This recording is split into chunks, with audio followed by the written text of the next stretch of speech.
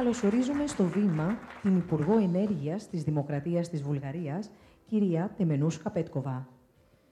Please welcome on stage the Minister of Energy of the Republic of Bulgaria, Mrs. Temenuska Petkova.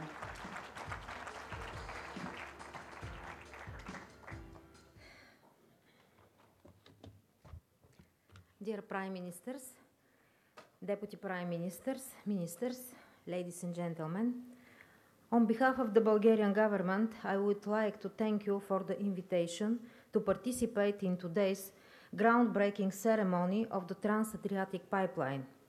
An integral part of the Southern Gas Corridor is also the project of the construction of the interconnector Greece-Bulgarian. In January 2014, a memorandum of understanding and cooperation was signed between ICGB and Trans-Adriatic Pipeline for coordination and integration of the two projects. One of the main priorities of the Bulgarian government is the diversification of sources and routes of natural gas supplies. Our country gives high priority to the realization, namely of the interconnector with Greece. The pipeline is designed with technical capacity of 3 to 5 BCM per year with the possibility of expansion including over 10 BCM per year subject to commercial interest and economic justification. With the signing of the final investment decision at the end of the 2015, the shareholders in the project have proceeded toward real actions to build the interconnector.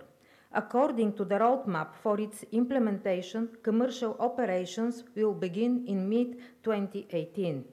I take this opportunity to inform you that the first non-binding phase of the market test was successfully complete in April and resulted with full booking of the pipeline exceeding its capacity.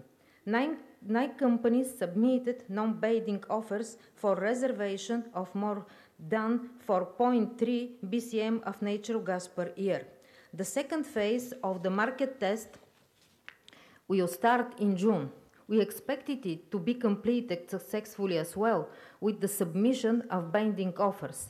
As a further option for diversification, the Bulgarian government also considers the opportunity to participate in the project for the construction of a LNG terminal near Alexandropolis. For us, this project closely linked to the gas interconnector Greece-Bulgaria.